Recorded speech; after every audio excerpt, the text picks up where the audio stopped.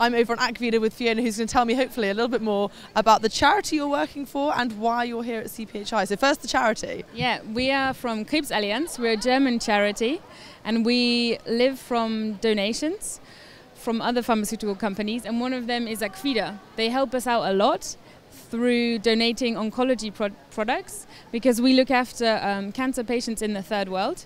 And so we have partners in countries like El Salvador, Honduras, Dominican Republic, in Africa, in Ghana, in Mali, in the Philippines as well. Um, these are all patients who don't have enough money to pay for treatment, and we campaign to try and get other pharmaceutical companies to donate their surplus, um, give them to us, and we take care of the logistics from the donation to the end delivery where the patients actually then get the drugs.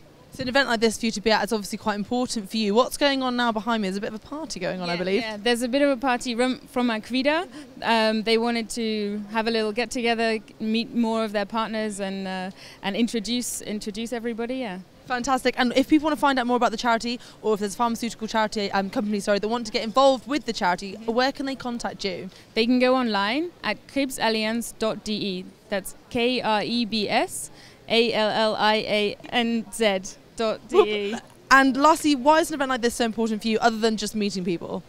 Um, it's also about spreading a message because a lot of people here are just about um, making money, sealing deals, but we want to say there's a different side of medicine too.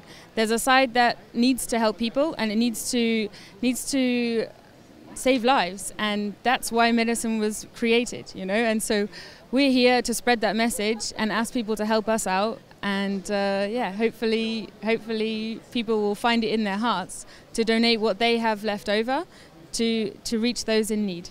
Fantastic, Fiona. Thank you very much indeed. We'll put the website up on the bottom so people can see. There you have it.